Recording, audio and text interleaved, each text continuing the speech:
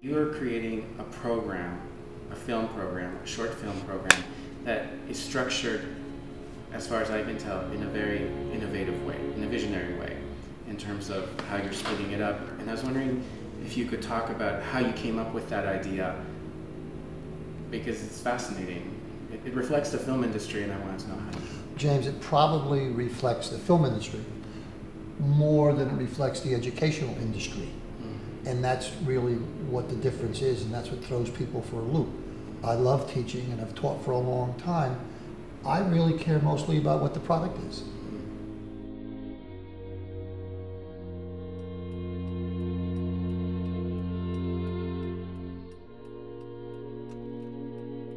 We just had our screening on Saturday night. I was there. You were there, and you saw that there's some pretty wonderful short films Absolutely. made by first year filmmakers. Time was the biggest challenge. Always, always trying to get another shot in, always pressuring my DP. It was incredible to have access to people in the industry, and that goes for on set, our people we worked with, as well as our instructors. She didn't seem like a first-time director. What's important with a first, with not a first-time director, any director, is a point of view, and she definitely had a strong point of view, and which is great, you know. And we collaborated really, really well. We only have so many months to get films ready. So right out of the gate, I said, start. Right. Start with what? Start with an idea.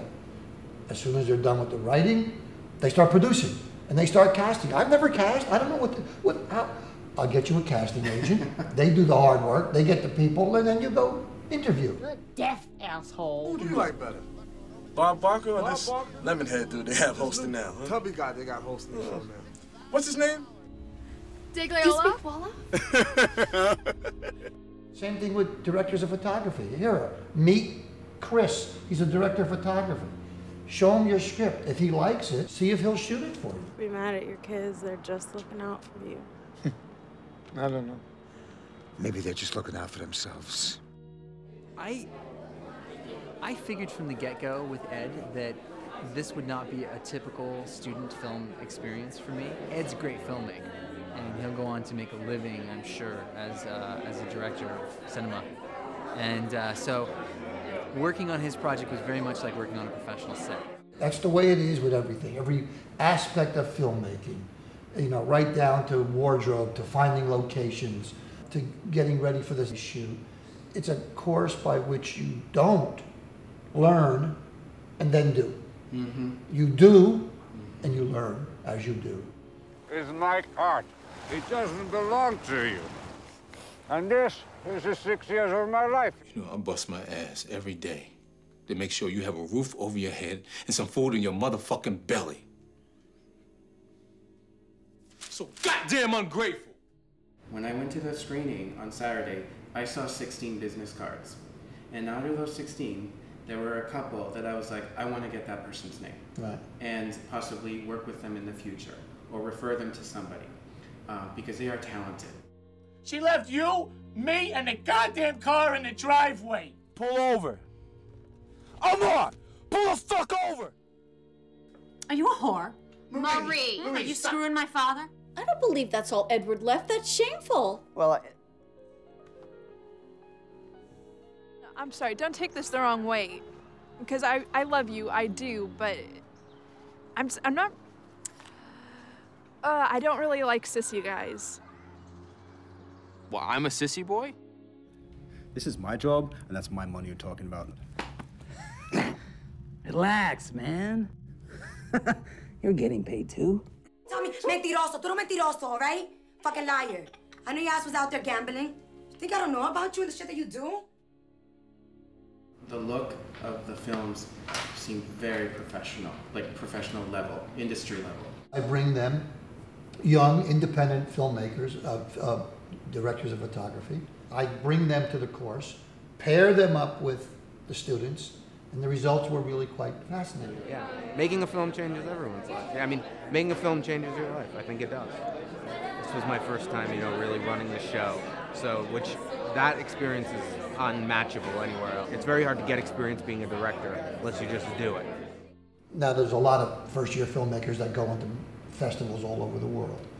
Um, but these films also could go into these festivals. They qualify.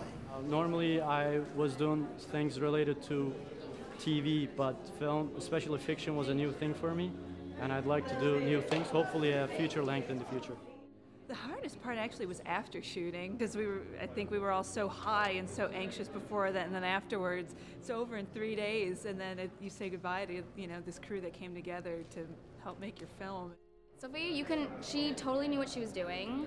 She was really confident. I feel like she was actually easier to work with than other directors who are much more established. Now, something happened that I didn't count on, and it ended up being to their advantage, is that they ended up fusing. They ended up working on each other's films. We all really formed these fast, comfortable personal friendships, and uh, I hope those things continue into the future. We started out as strangers, but uh, now we're friends and collaborators. This is like a mini studio. Yes. You're the executive producer. I'm the head of the studio, the real P R I C K. right, that's and most heads of studios are P R I C K. And I'm the one that gives them the green light yeah. When their movie's ready to shoot.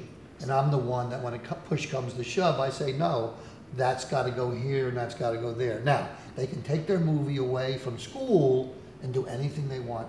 They own it. Mm-hmm. But while it's part of the studio, yeah, the, uh, I'm the one that'll have the final word.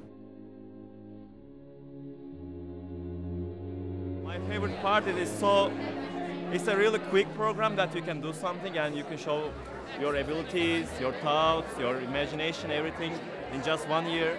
I mean, other programs are like more than two year or three year, you know. So it's a quick and easy way to film. I teach them history of short films and also teach them filmmaking techniques in theoretical terms. It was exciting, it was innovating, it was exceptional. There's one constant. They finish the films and they're empowered. They produce something that had very little chance of being produced. Mm-hmm. They wrote something that they never realized they could, could write, a story. And many times I have foreign students, international students who use a, who have a language. 坏了吧？虽然呢没有你妈妈做的那么好吃，没有没有，阿姨的手艺一样好。太会说话了。 Amerika'ya ilk gelişiniz mi? Evet. Kocam ekonomik şartları kolaylaştırıp faturaları ödemek için buraya taşındı. Fedakarlık yapmamız gerekiyordu. But they become empowered. And it's not because they made a good film or a bad film, it's because they made the film. It's because they finished the film. That they, you know, they got screwed by the actors and actresses the last week said, I'm not going to do it. They get screwed by the location who says, you know what, I've, I've had second thoughts, you can't shoot here. They get screwed by everybody along the way. They, why am I in this class? What am I doing? I get pimples, I'm getting crazy. But they do it. They finish it. I think the experience of making a first film is, has been successful. Mm-hmm. I don't think they'll go and take it too much further physically. Okay. I think what they're going to most are going to do now is try and market the film. And, and this summer month uh, program is devoted to marketing. How many become filmmakers? I got a note today from a, somebody who just graduated. It was really kind of emotional note. He said, "You changed my life. I was on my way to being a fine artist. I Mm. took your class. You changed my life." He's now a filmmaker, and now quite a good filmmaker. You know, that's not with everybody, but if you get one, two each class, you know, you're turning out some good troops. You've got to find that way that you can please yourself. You must find something in each film that makes you happy and proud. Because there's nothing worse than spending eight, nine months on a movie mm-hmm. that you really don't like.